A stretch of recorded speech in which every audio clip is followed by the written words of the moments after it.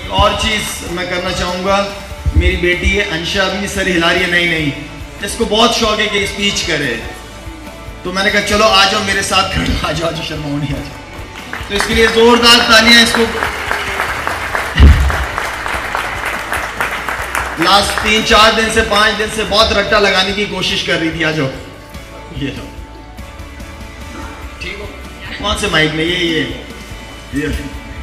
Bismillahirrahmanirrahim. Assalamu alaikum everyone. I'm Ansha Afridi and great to see you all here. Thank you everyone for coming. Uh, I'm proud to support Shahid Afridi Foundation and I'm thankful to Allah subhanahu wa ta'ala that He's chosen my father as a medium to help the less privileged. Uh, I would like to call the youth to back the foundation and support this worthwhile cause.